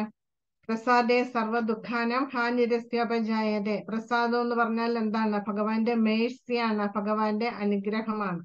അത് ഭഗവാന്റെ മുൻപിൽ വെച്ചിട്ട് നമ്മൾ അതിന്റെതായിട്ടുള്ള മന്ത്രങ്ങൾ ചൊല്ലി കഴിയുമ്പോൾ അത് പ്യൂരിഫൈ ചെയ്യും ശുദ്ധമാകും. പിന്നീട് അത് ഭക്ഷിച്ചു കഴിഞ്ഞാൽ ആ അത് ഭക്ഷിക്കുന്നത് കൊണ്ടുള്ള പാപം ഇല്ലാതായി തീരും. നമ്മളുടെ കർമ്മഫലം ഇല്ലാതായി തീരും. അപ്പൊ നമുക്കൊരു സംശയം വരെ എന്തുകൊണ്ട് നോൺ വെജ് ഭഗവാൻ ഇതുപോലെ ഓഫർ ചെയ്തിട്ട് കഴിക്കാൻ പാടില്ല? അതും ഗീതയിൽ ഭഗവാൻ പറയുന്നുണ്ട്. ഭഗവാന് ഈ സസ്യങ്ങൾ ഔഷധികളൊക്കെ തന്നിരിക്കുന്നത് മനുഷ്യർക്കും ജീവൻ വേണ്ടിയിട്ടാണ്. മനുഷ്യർക്ക് വെച്ച വെജിറ്റബിൾസ് പച്ചക്കറിയാണ് നമ്മൾ ഭക്ഷിക്കേണ്ടത്. മാംസാഹാരം അല്ല. ഇനി അഥവാ മാംസം കഴിക്കണമെന്നുണ്ടോ? അതിനുള്ള വിധിയും വേദങ്ങളിൽ പറയുന്നുണ്ട്. അത് അമാവാസ്യ ദിവസം ഒരാടിനെ വേറൊന്നിനെയും വധിക്കാൻ പാടില്ല. ഒരാടിനെ വധിച്ചിട്ട് അത് ഓഫർ ചെയ്യുക. ഭഗവാനല്ല കാളിക്ക് എന്തോ ഓഫർ ചെയ്തിട്ട് അതിലെ ഒരു ചെറിയ ഭാഗം. മറ്റ് ബാക്കിയുള്ളതും എല്ലാവർക്കും വിതരണം ചെയ്യണം. അതിലൊരു തീരെ ചെറിയ അളവ് മാത്രമേ അതും പതിവായിട്ടല്ല വല്ലപ്പോഴും. അതും പറയുന്നുണ്ട് എടുത്ത് അപ്പം നമ്മളെന്ന് പറയുന്നത് നമ്മൾ വെജിറ്റേറിയൻ ആണ്. പച്ചക്കറി അതിനായിട്ടാണ് നമുക്ക് തന്നിരിക്കുന്നത്. ഔഷധികളെ ഇതെല്ലാം മനുഷ്യർക്ക് വേണ്ടിയിട്ടാണ്. അപ്പൊ അതും നമ്മൾ മനസ്സിലാക്കണം. പിന്നീട് നിഷ്കാമ കർമ്മയോഗം നിഷ്കാമ കർമ്മയോഗത്തിൽ നമ്മൾ അപ്പം നമ്മൾ ഭക്തിയുടെ ആ മാർഗത്തിൽ നമ്മൾ കുറച്ച് മുന്നേറിയിട്ടുണ്ടാവും. അപ്പം നമുക്ക് കർമ്മഫലങ്ങളെ കുറിച്ചുള്ള ആഗ്രഹങ്ങൾ വരില്ല. അപ്പൊ കർമ്മഫലം നമ്മൾ ഓട്ടോമാറ്റിക്കായിട്ട് ഭഗവാന് സമർപ്പിക്കും. അങ്ങനെ വരുമ്പോൾ നമുക്ക് ആ സാക്ഷാത്കാര പാതയിൽ മുന്നേറാന് സാധിക്കും. ഇത് ഒരു സ്ലോ പ്രോസസ് ആണ് ഒറ്റ നമ്മൾ സ്റ്റെപ്പിന്റെ ഉദാഹരണം പറഞ്ഞു. ഒറ്റയടിക്ക് നമ്മൾ മുകളിലേക്ക് ചാടി കയറിയാൽ നമ്മൾ മൂക്കുത്തി വീഴും. ഇല്ലേ? അതേപോലെയാണ് ഭക്തിമാർഗം എന്ന് പറഞ്ഞാൽ ഭക്തിയിലേക്ക് വന്നാൽ എല്ലാവരുടെയും ചിന്ത എന്താണ്? ഇപ്പം നമുക്ക് സാക്ഷാത്കാരം കിട്ടുമെന്ന് ഒരിക്കലും ഇല്ല നമ്മൾ ഭക്തി നമ്മുടെ സാധന നമ്മൾ കർക്കശമാക്കുക അങ്ങനെ കുറെ കഴിയുമ്പോഴാണ് നമുക്ക് ആ സാക്ഷാത്കാര പാതയിലേക്ക് നമുക്ക് കടക്കാന് സാധിക്കുക. നമ്മൾ ക്ഷമയോടെ കാത്തിരിക്കണം. നമ്മൾ സേവനം ചെയ്തുകൊണ്ടേയിരിക്കണം. നമ്മളുടെ സാധന നമ്മൾ തുടർന്നുകൊണ്ടേയിരിക്കണം. അപ്പോൾ ഇവിടെ ഒരു സംശയം. നിഷ്കാമ കർമ്മയോഗത്തിൽ എത്തിയാൽ നമുക്ക് പ്രവർത്തിക്കേണ്ടി വരില്ലേ? പിന്നീട് നമ്മൾ പ്രവർത്തിക്കണം അതോ കൈയും കെട്ടിയിരുന്നാൽ പോരെ എന്ന് അർജുനൻ ചോദിച്ച മാതിരി നമുക്കും തോന്നും നമ്മളുടെ ഉള്ളിൽ. ഇല്ല നമ്മൾ മരണസമയം വരെയും നമ്മൾ പ്രവർത്തിച്ചുകൊണ്ടേയിരിക്കണം. സക്രിയരായിരിക്കണം നമ്മൾ നിഷ്ക്രിയരാവാൻ പാടില്ല. എങ്ങനെയുള്ള പ്രവൃത്തി? ഭഗവാന്റെ സേവനത്തിൽ ഏർപ്പെട്ടുകൊണ്ടേയിരിക്കണം. എങ്കിലേ നമുക്ക് പ്രയോജനം കിട്ടുകയുള്ളൂ. അപ്പം നമ്മളൊക്കെ എങ്ങനെയാണ് പ്രവർത്തിക്കുന്നത്? നമ്മളൊക്കെ മായയുടെ നിയന്ത്രണത്തിലാണ് ഇല്ലേ? ത്രിഗുണങ്ങളാണ് നമ്മെ നയിക്കുന്നത്. അതിൽ നിന്ന് നമ്മൾ പുറത്തു കടക്കണം. അപ്പൊ പറയുന്നുണ്ട് അതിനെന്ത് വേണം? ദൈവീഹേഷ ഗുണമയി മമമായ ദുരത്യ മാമേവമേ പ്രപദ്യന്റെ മായാമേതം തരന്തിരെ അതിനാണ് നമ്മളെ ഭഗവാന് പരിപൂർണമായിട്ട് സമർപ്പിതരാകുന്നത്. ഭഗവാന് സമർപ്പിതരായാൽ ശരണാഗതി അടഞ്ഞാൽ പിന്നെ മായ നമ്മളെ സ്പർശിക്കില്ല. അപ്പം നമുക്ക് വിധിക്കപ്പെട്ട കർമ്മങ്ങൾ നമ്മൾ ചെയ്യണം. അങ്ങനെ ചെയ്തുകൊണ്ടിരുന്നാലും അത് കൃഷ്ണാവബോധത്തിൽ കൂടിയാണ് പ്രവർത്തിക്കുന്നതെങ്കിൽ അത് എല്ലാ തരത്തിലുള്ള ഭൗതിക ബന്ധനങ്ങളിൽ നിന്നും പുറത്തു കടക്കാന് നമ്മെ സഹായിക്കുന്നു. അപ്പം ഈ ഇന്ദ്രിയങ്ങളോടുള്ള ആസക്തി എന്ന് പറയുന്നത് നമുക്ക് ഒരിക്കലും ഒഴിവാക്കാൻ സാധിക്കില്ല. കൃഷ്ണാവബോധത്തിൽ വന്നാലും ശരി നമ്മൾ കുറച്ച് മുന്നേറിയായാലും നമുക്ക് ഈ ഇന്ദ്രിയങ്ങളെ നിയന്ത്രിക്കാൻ നമുക്ക് സാധിക്കില്ല. അപ്പം അതിനാണ് നമ്മൾ എന്തനുസരിക്കുന്നത്? യമനിയമങ്ങൾ പാലിക്കുന്നത്. നാല് യമനിയമങ്ങളുണ്ട് അത് എല്ലാവർക്കും അറിയാമല്ലോ ഇല്ലേ? ആ നാല് യമനിയമങ്ങൾ റെഗുലേറ്റീവ് പ്രിൻസിപ്പിൾസ് അത് നമ്മൾ കർക്കശമായിട്ട് പാലിച്ചാൽ നമുക്കിത് നിന്നും പുറത്തു കടക്കാന് നമുക്ക് സാധിക്കും. അതുപോലെ തന്നെ ഉപദേശാമൃതത്തിൽ പറയുന്നുണ്ട് മൂന്നാമത്തെ ശ്ലോകം എന്നാണ് എനിക്ക് തോന്നുന്നത്. ഉത്സാഹ നിശ്ചയ ധൈര്യ തത്തത് കർമ്മ പ്രവർത്തന സംഘത്യാഗാൻ സതോവൃത്തി ഷഡ്ഭിർ ഭക്തർ പ്രണശ്യതി. ഭക്തിയിൽ പുരോഗമിക്കണമെങ്കിൽ നമുക്ക് ഉത്സാഹം വേണം. നമ്മൾ രണ്ടു ദിവസം നാമം ചോദിച്ചു അടുത്ത ദിവസം ഇല്ല. അങ്ങനെയല്ല. ദിവസവും നമ്മൾ പറഞ്ഞ പ്രഭുമാതർ പറഞ്ഞിരിക്കുന്ന അത്രയും ആവർത്തി മാല നമ്മൾ ജപിക്കണം. യമനിയമങ്ങൾ പാലിക്കണം. പിന്നെ പ്രഭുമാതരുടെ ബുക്കുകൾ വായിക്കണം. ഭഗവത്ഗീത ഭാഗവതം വായിക്കണം. പിന്നെ സാധുസംഘ അല്ലെ? പിന്നെ സേവനം ഇതെല്ലാം ചെയ്യണം. അപ്പം ഇസ്കോണിന്റെ ഫോർ പില്ലേഴ്സ് ആണ് ഏതൊക്കെ? എ ബി സി ഡി പറയാം. Association Vaishnava association book reading chanting പിന്നെ ഡെയ്റ്റി വർഷിപ്പ് പിന്നെ ധാമത്തിലെ വാസം വൃന്ദാവനം മായാപൂര്. നമുക്ക് പതിവായിട്ട് പോയി താമസിക്കാൻ നമുക്ക് നമുക്ക് സാധിക്കില്ല. പക്ഷേ ഇടയ്ക്ക് വല്ലപ്പോഴും ഒക്കെ ധാമത്തിൽ പോയി കുറച്ച് ദിവസം താമസിക്കാൻ നമ്മൾ താല്പര്യം കാണിക്കണം. അപ്പം ഈ നാല് കാര്യങ്ങളാണ് നമ്മളുടെ ഫോർ പില്ലേഴ്സ് ഇസ്കോന്റെ ഫോർ പില്ലേഴ്സ് എന്ന് പറയുന്നത്. അപ്പം കൃഷ്ണബോധത്തിൽ നമ്മൾ സേവനത്തിൽ ഏർപ്പെടും തോറും നമുക്ക് ഭൗതികമായിട്ടുള്ള ആസക്തി കുറഞ്ഞു കുറഞ്ഞു വരും. അപ്പം എങ്കിലും നമ്മൾ കരുതിയിരിക്കണം. ഇപ്പൊ നമ്മളെ രാജവീഥിയാണ്. രാജവീഥിയിൽ കൂടി വാഹനം ഓടിച്ചാൽ അപകടം വരില്ല എന്ന് പറയാൻ പറ്റില്ല. ഇല്ലേ? നമ്മൾ ശ്രദ്ധിച്ച് വാഹനം ഓടിക്കണം. ഇല്ലെങ്കിൽ എവിടെയായാലും അപകടം സംഭവിക്കാൻ സാധ്യതയുണ്ട്. അതുപോലെയാണ് നമ്മളും ഭൗതികമായിട്ടുള്ള രാജവീതിയിൽ നമ്മൾ മുന്നോട്ട് പോവുകയാണ്. പക്ഷേ നമ്മൾ ഭഗവാന് സേവനം ചെയ്യുന്നുണ്ടെങ്കിൽ നമ്മൾ ഉള്ളിൽ എപ്പോഴും ഓർമ്മ വേണം. മായ പതുങ്ങിയിരിക്കുകയാണ്. എവിടെ വെച്ചിട്ടാണ് നമ്മളെ പിടികൂടേണ്ടത്? പിടികൂടേണ്ടത് എന്ന് മായയ്ക്കറിയാം. അത് എങ്ങനെയാണെന്നും അറിയാം. വളരെ സമർത്ഥമായിട്ട് നമ്മളെ കൊടുക്കും.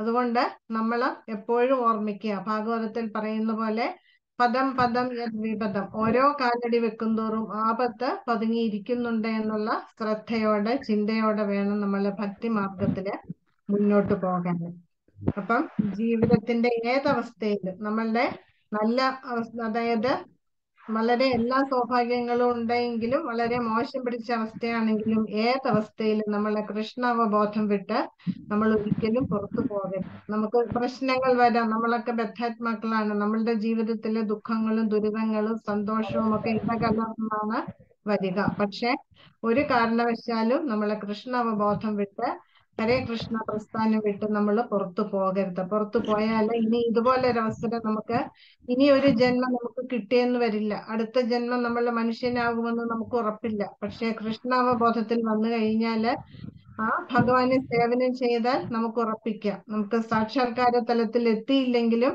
അടുത്ത ജന്മം ഈ ജന്മം നമ്മളെ എവിടെ വെച്ച് നിർത്തിയോ അടുത്ത ജന്മം അത് പൂർത്തിയാക്കാനുള്ള അവസരം നമുക്ക് ശ്രീല പ്രഭുപാദര് തരും. ഇത് പ്രഭുപാദര് പറഞ്ഞിട്ടുള്ളതാണ്. പ്രഭുപാദരുടെ വാക്കൊരിക്കലും വെറുതെ ആവില്ല. അപ്പം എന്ന് വെച്ചിട്ട് നമ്മൾ അടുത്ത ജന്മം ആവട്ടെ എന്ന് കരുതി ഇരിക്കാൻ പാടില്ല. ഈ ജന്മം കൊണ്ട് തന്നെ നമുക്ക് ഈ ഭൗതിക ലോകത്തിൽ ഇനി ഒരു തിരിച്ചു തിരിച്ചുവരവില്ലാത്ത ലോകത്തിലേക്ക് പോകാന് നമ്മൾ ശ്രമിക്കണം. ഇവിടെ പറയുന്നുണ്ട് ശ്രേയാൻ സ്വധർമ്മോ വിഗുണ പരധർമ്മ സനുഷ്ഠിത സ്വധർമ്മേ നിധനം ശ്രേയ പരധർമ്മോ ഭയാവഹ. തെറ്റോട് കൂടിയാണെങ്കിലും നമ്മൾ നമുക്ക് വിധിക്കപ്പെട്ട കർമ്മങ്ങൾ ചെയ്യണം. അന്യരുടെ കർത്തവ്യങ്ങൾ ഭംഗിയായിട്ട് ചെയ്യുന്നതിനെക്കാട്ടിലും ശ്രേഷ്ഠമാണ് നമുക്ക് വിധിച്ചിട്ടുള്ള കർമ്മങ്ങൾ നമ്മൾ ചെയ്യുന്നത്. ശ്രീ ചൈതന്യ മഹാപ്രഭു പറഞ്ഞിട്ടുണ്ട് യാരെ രേഖോ താരെ കൃഷ്ണ ഉപദേശ. ആരെ കണ്ടാലും നമ്മൾ എന്താണ് പറയേണ്ടത്? ഭഗവാന്റെ തിരുനാമം ജപിക്കൂ എന്ന് നമ്മൾ താഴ്മയോട് അവരോട് അപേക്ഷിക്കണം. ഇതാണ് മഹാപ്രഭു നമ്മളെ പഠിപ്പിച്ചിരിക്കുന്നത്. അതുപോലെ മഹാപ്രഭു പറഞ്ഞിട്ടുണ്ട് കൃഷ്ണമാത കൃഷ്ണപിത കൃഷ്ണ പ്രാണധൻ. നമ്മളുടെ മാതാവും പിതാവും നമ്മളുടെ പ്രാണനും നമ്മളുടെ സമ്പത്തും ഒക്കെ ആരാണ്? ഭഗവാനാണ് കൃഷ്ണനാണ്.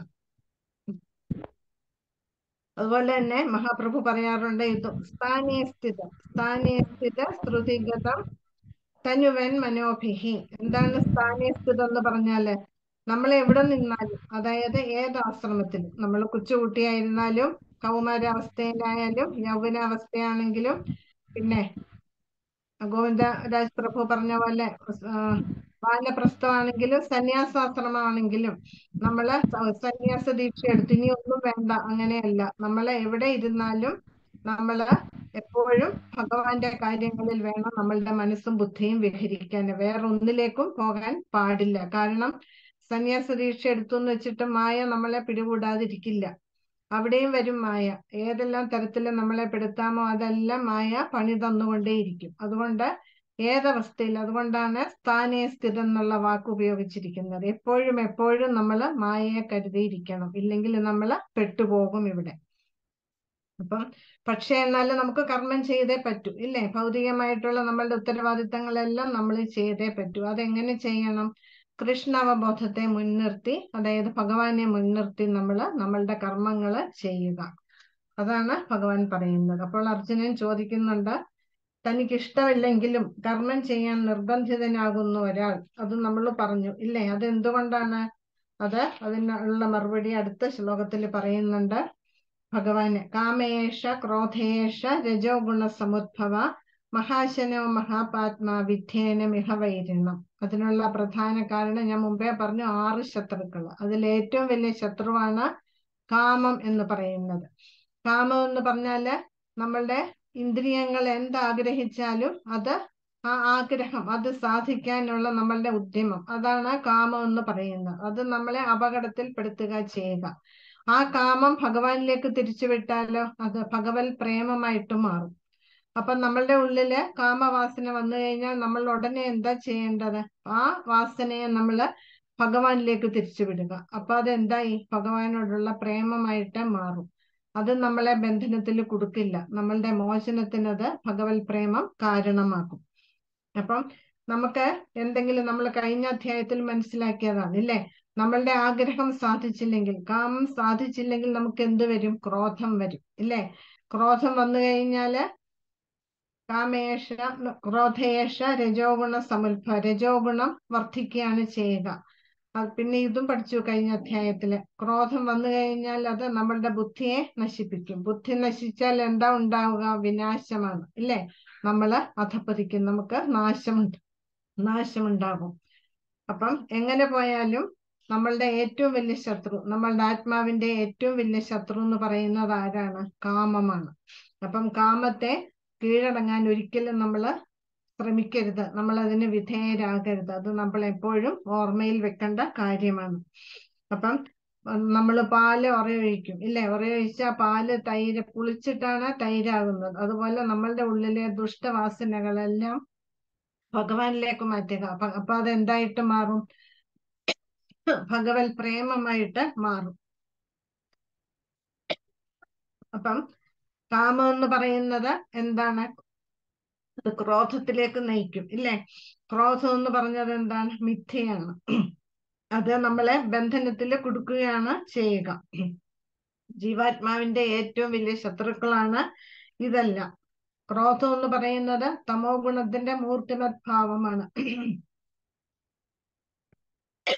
അപ്പം നമ്മൾ സത്വഗുണത്തിലേക്ക് ഉയരണം. സത്വഗുണത്തിൽ നിന്ന് വിശുദ്ധ സത്വത്തിലേക്ക് നമ്മൾ കടക്കണം. അതിനായിട്ടാണ് നമ്മൾ പരിശ്രമിക്കേണ്ടത്.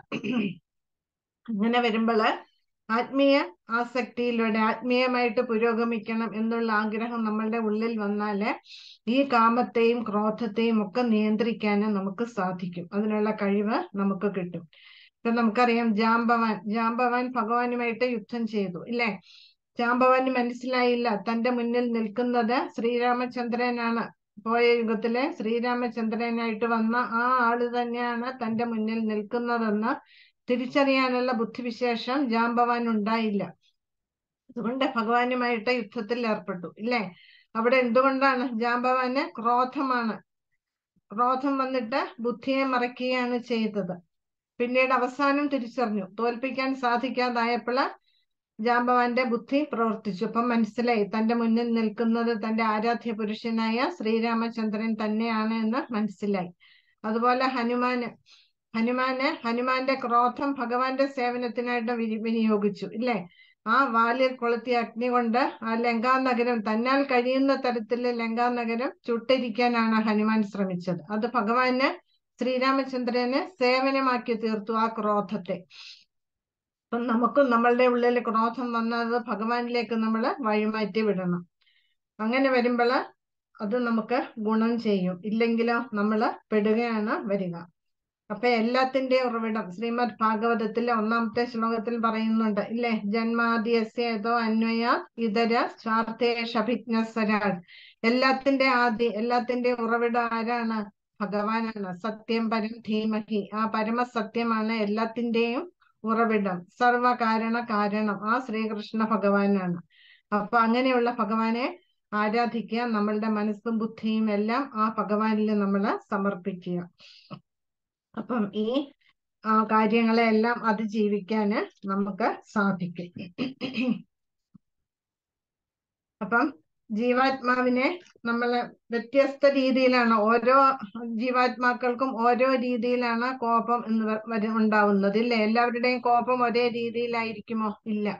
കോപത്തിന് വ്യത്യാസം ഉണ്ടാകും. ചിലര് എന്തു വന്നാലും കോപിക്കില്ല. ചിലരോ കുറച്ചൊക്കെ കോപിക്കും. ഇല്ലേ? അപ്പൊ ഇത് അപ്പൊ ആത്മാവിന്റെ ആവരണം എന്ന് പറയുന്നത് എന്താണ്? നമ്മളുടെ ശരീരം എന്ന് പറയുന്നത് അത് ഗ്രോസ് ബോഡി. ഗ്രോസ് ബോഡി എന്ന് പറയുന്നത് പഞ്ചഭൂതങ്ങളാൽ നിർമ്മിതമാണ്. പിന്നീട് അതിന്റെ ഉള്ളിൽ എന്തുണ്ട്? സട്ടിൽ ബോഡി ഉണ്ട്. അതായത് സൂക്ഷ്മ ശരീരമുണ്ട് സൂക്ഷ്മ ശരീരം എന്ന് പറയുന്നത് എന്താണ്? മനസ്സ് ബുദ്ധി അഹങ്കാരം. അഹങ്കാരം എന്ന് പറയുന്നത് മിഥ്യ അഹങ്കാരം. അപ്പൊ നമ്മളുടെ ശരീരത്തിൽ നിന്നും അതായത് നമ്മളുടെ മരണശേഷം ആത്മാവ് വേർപെട്ടു പോകുമ്പോൾ ഇത് മൂന്നും ഒപ്പം പോകും. മനസ്സ് ബുദ്ധി അഹങ്കാരം. അതുകൊണ്ടാണ് പറയുന്നത് എപ്പോഴും നമ്മളുടെ ബോധത്തിൽ ഭഗവത് സ്മരണ ഉണ്ടാവണം എന്ന്. ഇല്ലെങ്കിലോ ഈ മിഥ്യാഹങ്കാരം കൊണ്ടാണ് നമ്മൾ പോവുക. അത് പിന്നെ നമ്മളെ പെടുത്തുക ചെയ്യുക. ഭഗവത് സ്മരണയോടെ നമ്മൾ നിത്യേന സാധന ചെയ്യുകയാണെങ്കിൽ നമുക്ക് ആ ഭഗവത് സ്മരണയോടെ ശരീരം ഉപേക്ഷിക്കാൻ സാധിക്കും. ഈ മിഥ്യാഹങ്കാരം സത്യഹങ്കാരമായിട്ട് മാറി. അപ്പം നമ്മൾ തിരിച്ചറിയും നമ്മൾ ജീവാത്മാവ് ആരാണ് എന്നുള്ളത് തിരിച്ചറിവ് നമുക്കുണ്ടാവും. ഭഗവാന്റെ സേവകനാണ് എന്ന് നമ്മൾ മനസ്സിലായിട്ട് ആത്മീയധാമത്തിലെത്തി ഭഗവാന് സേവനം ചെയ്യാന് നമുക്ക് സാധിക്കും. അതാണ് സത്യ അഹങ്കാരം എന്ന് പറയുന്നത്. അപ്പം നമ്മൾ അതിപ്പോളെ പരിശീലിക്കണം. അപ്പം നമ്മളുടെ ശത്രു എന്ന് പറയുന്നത് കാമമാണ്. അപ്പൊ അതിൽ നിന്ന് പുറത്ത് കടക്കാന് നമ്മൾ ഈ കൃഷ്ണാവബോധത്തിൽ കൂടി ആ കൃഷ്ണാവബോധത്തിൽ നിന്ന് കിട്ടുന്ന പരിശീലനം കൊണ്ട് ഇതിനെ അതിജീവിക്കാന് നമുക്ക് സാധിക്കണം. കൃഷ്ണാവബോധം എന്ന് പറയുന്നത് എന്താണ്? സുസുഖം കർത്തും അഭിയായം വളരെ എളുപ്പമാണ് പരിശീലിക്കാൻ. ഒരു ബുദ്ധിമുട്ടും ഇല്ല ഇല്ലേ? ഇതിൽ സ്വൽപ്പമർഭ്യസ്യ ധർമ്മസ്യ ത്രായതേ മഹതോഭയാൽ ഈ കൃഷ്ണാവബോധത്തിൽ നമ്മൾ വെക്കുന്ന ഒരു ചെറിയ കാൽവെപ്പ് മതി. അത് നമ്മളെ മഹാവിപത്തുകളിൽ നിന്നും നമ്മെ രക്ഷിക്കും. അപ്പം ഇത് ഓർത്തുകൊണ്ട് വേണം നമ്മൾ എപ്പോഴും ജീവിക്കാനായിട്ട്.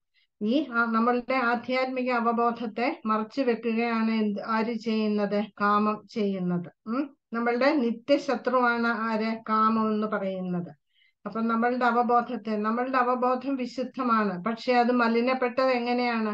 ഈ ആറ് ശത്രുക്കളെ കാമക്രോധ ലോഭമോഹ മതമാത്സര്യം ഇതാണ് നമ്മളെ ശത്രുക്കളെ ഇതാണ് നമ്മളുടെ അവബോധത്തെ മൂടി വെച്ചിരിക്കുന്നത്.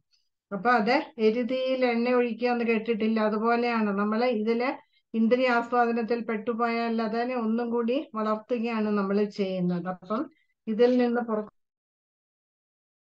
അത് എങ്ങനെ സാധിക്കും? ഭക്തിയോഗം കൊണ്ട്. അതാണ് അനർത്ഥ നിവൃത്തിയാണ് ഇതൊക്കെ. ഇതിൽ നിന്ന് പുറത്തു കിടക്കുക എന്ന് പറഞ്ഞാൽ അനർത്ഥ നിവർത്തി അത് എങ്ങനെ സാധിക്കും? ഭക്തിയോഗത്തിൽ കൂടി നമുക്ക് ഇതെല്ലാം ഉപേക്ഷിക്കാന് സാധിക്കും. അതായത് നഷ്ടപ്രായേഷു അഭദ്രേഷു നിത്യം ഭാഗവത സേവയ ഭഗവതി ഉത്തമ ശ്ലോകെ ഭക്തിർഭവതി നൈഷ്ഠികി. അപ്പം ഇത് ഈ എല്ലാ നമ്മുടെ ഉള്ളിലുള്ള മാലിന്യങ്ങളെ എല്ലാം നീക്കം ചെയ്യാമെങ്കിൽ നമുക്ക് ഭാഗവതത്തെ സേവിക്കുന്നത് കൊണ്ട് നമുക്ക് ഭഗവത്ഗീതയും ഭാഗവതത്തെയും സേവിക്കുന്നത് കൊണ്ട് നമ്മളുടെ ഉള്ളിലെ അനർത്ഥങ്ങളെല്ലാം പോയി മറിയും. അതിന് യാതൊരു സംശയവുമില്ല. അപ്പം നമ്മളുടെ ഈ ഭൗതിക ലോകത്തിൽ നമ്മെ കുടുക്കിയിടുന്നതാണ് ജ്ഞാനത്തിന്റെ പ്രതീകമാണ് എന്ത് കാമം എന്ന് പറയുന്നത്. അപ്പം നമ്മളുടെ ഉള്ളിലെ കാമവാസന അത് ഏത് തരത്തിലും കാമം എന്ന് പറയുമ്പോൾ ഒന്നല്ല കാമം പലതരത്തിലുണ്ട്. ഇപ്പൊ നമ്മൾ ഒരു വസ്തുവിനോട് ഒരു പൂ കണ്ടു അതിനോട് ആഗ്രഹം തോന്നുന്നു അതും കാമമാണ്. അപ്പം ഇങ്ങനെയുള്ള ആഗ്രഹങ്ങളെ നമ്മൾ കളയാന് മുളയിലെ നുള്ളി കളയാന് നമ്മൾ ശ്രമിക്കണം. അപ്പം കാമത്തിന്റെ ഇരിപ്പിടങ്ങൾ ഏതൊക്കെയാണ്? മനസ്സ് ബുദ്ധി ഇന്ദ്രിയങ്ങൾ. ആണ് കാമത്തിന്റെ ഇരിപ്പിടം എന്ന് പറയുന്നത്. അപ്പം അറിയാം ഈ ആറ് കാര്യങ്ങൾക്ക് അറിയാം മർമ്മസ്ഥാനത്താണ് അവ നിലകൊള്ളുന്നത്. നമ്മളെ ഒരു തരത്തിലും നമ്മളെ ഭഗവാനിലേക്ക് അടുപ്പിക്കാതിരിക്കാൻ വേണ്ടുന്ന മർമ്മസ്ഥാനങ്ങളിലൊക്കെ ഇത് സ്ഥിതി ചെയ്യും. അപ്പം നമ്മളത് മനസ്സിലാക്കി ഈ ശത്രുവിനെ പുറത്തേക്ക് കടക്കാൻ കടത്താനാണ് നമ്മൾ പരിശ്രമിക്കേണ്ടത്. അപ്പൊ അതിനെ ആധ്യാത്മികമായിട്ടുള്ള നമ്മളുടെ ബുദ്ധിയെ ആധ്യാത്മികമാക്കണം. അങ്ങനെയുള്ള ബുദ്ധി കൊണ്ട് ഈ ശത്രുക്കളെ നേരിടാന് നമുക്ക് സാധിക്കും.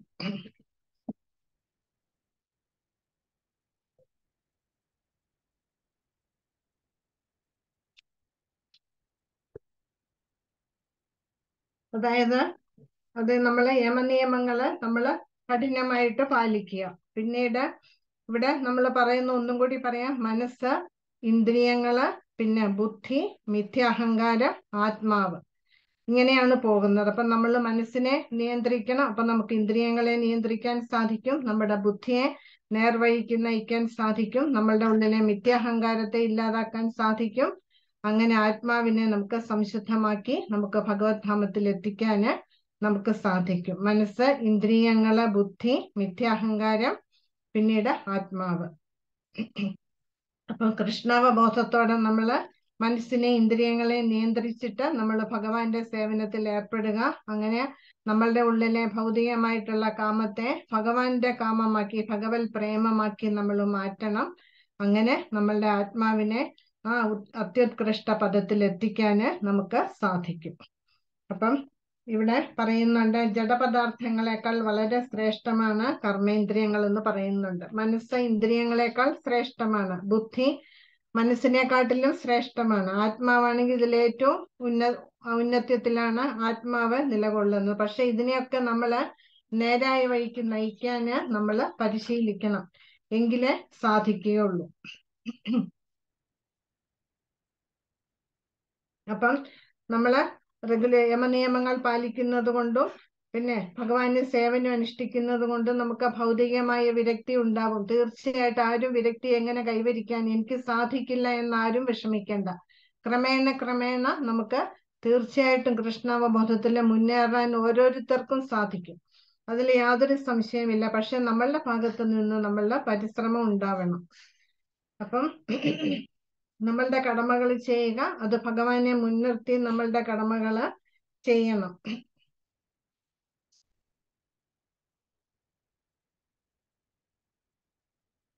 അപ്പം നമ്മൾ നമ്മളുടെ കർമ്മങ്ങളൊക്കെ നമ്മൾ എങ്ങനെ ചെയ്യണം? ഭഗവാന്റെ സന്തുഷ്ടിയെ ലക്ഷ്യമാക്കി. നമുക്ക് നമ്മളുടെ സന്തോഷത്തിനാണ് ഇപ്പൊ ചെയ്യുന്നത് ഇല്ലേ? എന്റെ ഇഷ്ടം എന്റെ ഇഷ്ടം. അല്ലെങ്കിൽ നമ്മളുടെ കുടുംബത്തിലുള്ളവരുടെ ഇഷ്ടം. പക്ഷെ അതല്ല ഭഗവാൻ എന്താണ് ഇഷ്ടം എന്ന് നമ്മൾ ചിന്തിച്ചിട്ട് ഭഗവാന്റെ ഇഷ്ടം പൂർത്തീകരിക്കാൻ നമ്മൾ ശ്രമിക്കുക.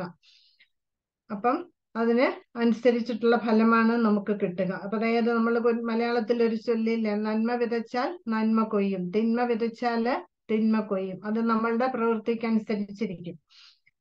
അപ്പൊ നമ്മളുടെ ശരീരത്തിൽ ഇന്ദ്രിയങ്ങളുണ്ട് ഇന്ദ്രിയങ്ങൾക്ക് മുകളിലാണ് മനസ്സ് പിന്നീട് ബുദ്ധി പിന്നെ ആത്മാവ്. ഇതിനെയൊക്കെ നമ്മൾ ആധ്യാത്മികമാക്കി മാറ്റണം.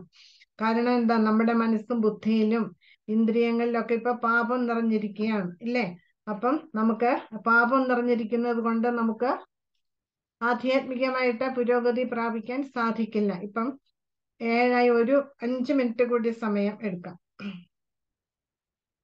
നമ്മൾ ആദ്യമൊക്കെ ചാൻഡിങ് ചെയ്യുമ്പോൾ നമുക്കറിയാം. ചാൻഡിങ് ചെയ്യുമ്പോൾ നമ്മുടെ ഉള്ളിൽ നടക്കുന്ന മാറ്റങ്ങൾ നമുക്ക് തീർച്ചയായിട്ടും അറിയാം. അതേസമയം വളരെ ബുദ്ധിമുട്ടാണ് ചാൻഡിങ്ങുമായിട്ട് പൊരുത്തപ്പെടാൻ പക്ഷേ നമ്മൾ ജപം തുടങ്ങി കുറച്ചു നാൾ കഴിയുമ്പോൾ അത് തീർച്ചയായിട്ടും ഓട്ടോമാറ്റിക് നമുക്കറിയാം നമ്മളുടെ ഉള്ളിലേക്ക് ആ ജപം ഇറങ്ങുന്നത് നമുക്ക് മനസ്സിലാക്കാൻ സാധിക്കും. എന്തുകൊണ്ടാണ്? ആദ്യം നമ്മൾ ജപത്തിലേക്ക് വരുമ്പോൾ നമ്മളുടെ പാപങ്ങൾ അതിനെ ഉള്ളിലേക്ക് വിടാതെ തടഞ്ഞു നിർത്തുക ചെയ്യുക. ശബ്ദം ഉള്ളിലേക്ക് പോവില്ല വൈബ്രേഷൻ പോവില്ല ഉള്ളിലേക്ക്. പക്ഷെ ഇപ്പോഴാണെങ്കിലും നമ്മൾ കുറെ കഴിയുമ്പോൾ ജപം കണ്ടിന്യൂ ചെയ്ത് കഴിഞ്ഞാൽ തീർച്ചയായിട്ടും ആ വൈബ്രേഷൻ നമുക്ക് മനസ്സിലാക്കി എടുക്കാൻ സാധിക്കും. ഇതാണ് ഏറ്റവും വലിയ ഉദാഹരണം. അപ്പം നമ്മൾ ഇതുപോലെ നമ്മൾ എങ്ങനെയാണോ നമ്മൾ ജപത്തിന് പ്രാധാന്യം കൊടുക്കുന്നത് അതേപോലെ ഭഗവാന്റെ മറ്റ് സേവനങ്ങൾക്കും നമ്മൾ പ്രാധാന്യം കൊടുത്തു കഴിഞ്ഞാൽ തീർച്ചയായിട്ടും നമുക്ക് വിരക്തി കൈവരിക്കാൻ നമുക്ക് സാധിക്കും. അപ്പം എല്ലാം ആത്മാവിന്റെ തലത്തിൽ അതാണ് ഈ മൂന്നാം അധ്യായത്തിന്റെ കണ്ടന്റ് എന്ന് പറഞ്ഞാൽ നമ്മൾ എല്ലാത്തിനെയും ആത്മാവിന്റെ തലത്തിൽ നോക്കി കാണാൻ നമ്മൾ പഠിക്കണം. നമ്മളിപ്പോ ശരീരത്തിന്റെ തലത്തിലാണ് നമ്മൾ നിൽക്കുന്നത്. പക്ഷെ അതിൽ നിന്നും ആത്മീയ തലത്തിലേക്ക് കടക്കാന് ആത്മാവിന്റെ തലത്തിലേക്ക് കടക്കാന് നമ്മൾ പരിശ്രമിക്കണം. അങ്ങനെ വരുമ്പോൾ നമുക്ക് ശരീരത്തോട് അറ്റാച്ച്മെന്റ് ഉണ്ടാവില്ല. ഈ ശരീരവും വേണം. ശരീരം ഉപയോഗിച്ചിട്ടേ നമുക്ക് ഭവസാഗരം കടക്കാൻ സാധിക്കുകയുള്ളൂ. അതിനുള്ള ഒരു തോണിയായിട്ട് മാത്രമേ നമ്മൾ ശരീരത്തെ കാണാവുള്ളൂ. അതിൽ കൂടുതൽ പ്രാധാന്യം നമ്മൾ നമ്മളുടെ ശരീരത്തിന് കൊടുക്കരുത്. ശ്രീല പ്രഭാതർ പറയും നമ്മളുടെ ശരീരം നമ്മൾ ശ്രദ്ധിക്കണം ആരോഗ്യം ശ്രദ്ധിക്കണം ഭക്ഷണം കഴിക്കണം. പക്ഷെ ഇതിനൊക്കെ ഒരു ലിമിറ്റ് ഉണ്ട് അത് എന്തിനു വേണ്ടിയിട്ടാണ്? നമ്മളുടെ സാധനയ്ക്ക് നമ്മളുടെ ശരീരം വേണം. ആ സാധനയ്ക്ക് വേണ്ടി മാത്രമായിട്ട് നമ്മളുടെ ശരീരത്തെ നമ്മൾ ഉപയോഗിക്കുക. ആ ശരീരം ഉപയോഗിച്ചിട്ട് ഈ ഭവസാഗരം താണ്ടുക. ഗുരുവിന്റെ സഹായത്തോടെ ഈ ഭവസാഗരം താണ്ടാൻ നമ്മൾ പരിശ്രമിക്കണം. അപ്പൊ നമ്മൾ ആത്മാവിന്റെ തലത്തിൽ നമ്മൾ നിലകൊള്ളാനാണ് നമ്മൾ ശ്രമിക്കേണ്ടത്. അതിനാണ് ബുദ്ധിയോഗം അല്ലെങ്കിൽ ഭക്തിയോഗം എന്ന് പറയുന്നത് ഇതിനെയാണ്. അപ്പം നമ്മൾ ഈ അധ്യായത്തിൽ നിന്ന് എന്താ മനസ്സിലാക്കിയത്? നമ്മൾ നിഷ്കാമ കർമ്മയോഗം പരിശീലിക്കണം. പിന്നെ കാമമാകുന്ന ശത്രുവിനെ ജയിക്കണം. ഇത് വളരെ സ്ലോ പ്രോസസ് ആണ്. ഒറ്റയടിക്ക് നമുക്കിത് സാധിക്കില്ല. നമ്മളുടെ സാധന കൊണ്ട് ക്രമേണ ക്രമേണ ക്രമേണ അതായത് സ്റ്റെപ്പ് കയറുന്ന മാതിരിയാണ്. ഇങ്ങനെ ഓരോ സ്റ്റെപ്പ് നമുക്കറിയാം എട്ട് പടികളുണ്ട് ഇല്ലേ? നമ്മൾ പഠിച്ചതാണ്. ഏതൊക്കെയാണ്? സാധു സംഘ ഭജനക്രിയ അനർത്ഥ നിവർത്തി നിഷ്ഠ രുചി ആസക്തി ഭാവ പ്രേമ ഇങ്ങനെ എട്ട് പടികൾ ഒന്നൊന്നായിട്ട് കയറണം. അത് നമ്മളുടെ സാധന കൊണ്ട് ഇതെല്ലാം സാധിക്കും. അങ്ങനെ കയറിയാല നമുക്ക് ആത്മാവിന്റെ തലത്തിൽ സ്ഥിതി ചെയ്യാൻ നമുക്ക് സാധിക്കും.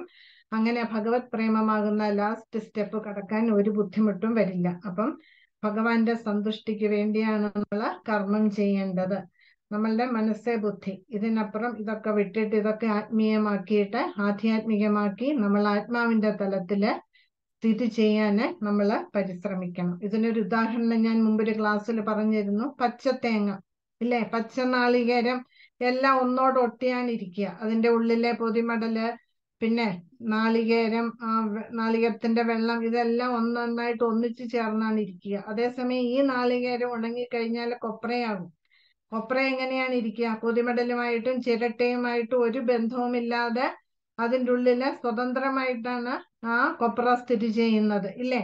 ആ കൊപ്ര പോലെ ആവണം. ഇത് എന്നുവെച്ചാൽ അതുപോലെ ചുക്ക് ചുളിയണമെന്നല്ല. അതേപോലെ നമ്മൾ ഇത് ഭൗതികതയിൽ നിന്ന് വിട്ട് ഒട്ടുമേ ആസക്തി ഇല്ലാതെ ഡിറ്റാച്ച്ഡ് ആവണം. എന്നാൽ നമുക്ക് തീർച്ചയായിട്ടും ഭഗവാന്റെ ധാമത്തിൽ പ്രവേശിക്കാന് നമുക്ക് സാധിക്കും. നമ്മുടെ ആത്മീയ ആത്മാവിന്റെ തലത്തിൽ നിലകൊള്ളാന് നമുക്ക് സാധിക്കും. ഇതിന് ഏറ്റവും നല്ല ഉദാഹരണമാണ് കൊപ്രയുടെ കാര്യം. അതാണ് ഞാൻ പറഞ്ഞത്. അപ്പൊ എളുപ്പം മനസ്സിലാക്കും. ഹരേ കൃഷ്ണ. അങ്ങനെ മൂന്നാം അധ്യായം കഴിഞ്ഞു. ഇനി എന്റെ കഥ ഞാൻ അടുത്ത ക്ലാസ്സിൽ പറയും. ഹരേ കൃഷ്ണ